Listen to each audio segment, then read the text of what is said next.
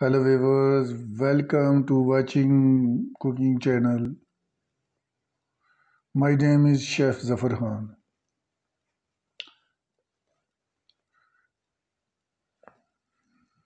दोस्तों, ये वीडियो मैंने बेसिक फुल फ्लेम कुकिंग की इंफॉर्मेशन के लिए बनाई है।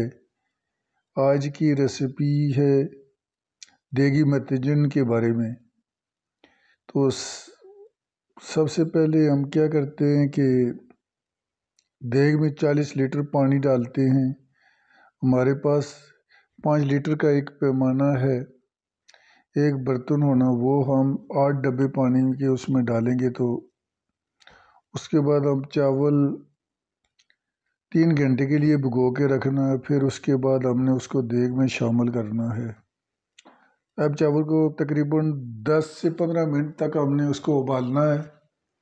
उसके बाद जब चावल ये उबल जाएगा तो उसके बाद हमने क्या करना है कि चास चीनी की हमने जो तैयार की है उसमें डालना है।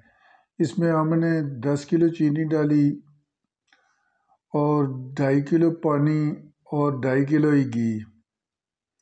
उसके बाद वेवर इसको हमने पंद्रह मिनट तक लगातार पकाना है, जब तक हमारा ये शीरा तैयार नहीं हो जाता। तो मुसलसल हमने उसमें चमचा हिलाते जाना है। जब ये हमारा शीरा तैयार हो जाएगा तो उसके बाद हमने उसमें चावल हमने पहले ही बॉयल करके निकाल दिए हैं।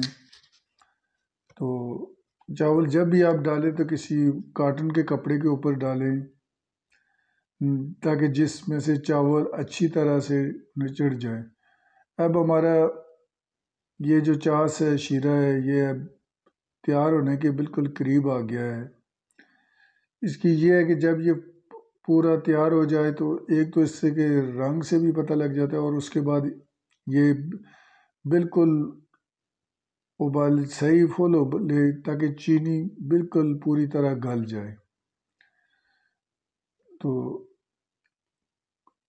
जैसे ही चीनी पूरी तरह तैयार होगी तो फिर उसके बाद हमने इसमें चावल डालने लेकिन होता है कि बाद दफ़ा बहुत ज़्यादा चावल में चमचा मारते हैं, जब उसमें चावल शामिल करें तो ये काम नहीं करना है।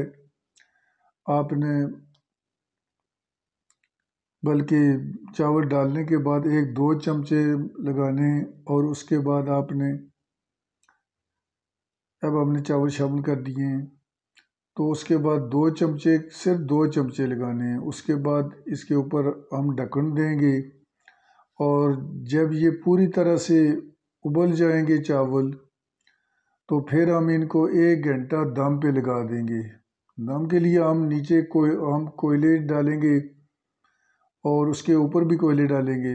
ना कि इतने कम होने चाहिए और ना, बहुत ज़्यादा भी नहीं होनी चाहिए। तो ये हमारी इब्तदाई व्लॉग है अब हमने तकरीबन हमारा एक घंटा पूरा हो गया है, चावल को दम किए हुए। अब बिल्कुल चावल पूरी तरह खुशक हो गए हैं। अब इसमें हम रंग शामिल करने लगे हैं। तीन किस्म के हम इसमें रंग शामिल करेंगे और कोशिश ये करें कि रंग अलहदा अलहदा हों, बिल्कुल आपस में मिक्स ना हो, फिर नहीं तो वो एक अजीब सा ही एक टेक्चर बन जाता है। और चावल भी पूरी तरह जब खुशक हो जाए, फिर आप उसमें रंग डालें।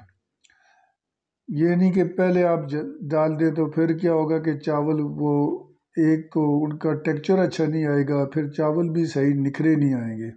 अब हम इनमें शामिल करेंगे अशरफी मुरबा दो किलो अशरफी मुरबा है, ये हमने अब इसमें शामिल करना है। जब भी कोई भी चीज़ लें तो उसकी क्वालिटी वाइज अच्छी होनी चाहिए, बल्कि थोड़ी खुद भी एफर्ट करनी चाहिए। अब हम इसमें बादाम, गिरी और मेवा डालेंगे। ये इनकी रेशियो तकरीबन आधा आधा किलो थी। उसके बाद हम अपनी ने खोया और नारियल पाउडर में एक किलो खोया डाला है और उसमें आधा किलो नारियल पाउडर में इसे मिक्स किया है। बाद दफ़ा ऐसे वो करें खोए तो को अकेला तो वो फिर वो सही निखर के नहीं आता। तो अब हमने ये शामिल कर दिया है, उसके बाद अब हम इनको मिक्स करेंगे चमचे की मदद से। तो मिक्स कर दिए अब हमने इनको। लेकिन चावल मिक्स करते हुए ज़्यादा चमचा नहीं मारना चाहिए, नहीं तो वो टूट जाते हैं। और दूसरे नंबर, दूसरी बात कि जब भी कोई भी इंग्रेडिएंट्स आप इंतखब करें तो कोशिश करें कि अच्छी सी अच्छी चीज़ हो। घी भी अच्छी क्वालिटी का होना चाहिए, नहीं तो सारे खाने का फ्लेवर इसी चीज़ पे मैटर करता है। तो ये एक दरमियाना स्केल की कुकिंग थी, ना कोई इतनी आला।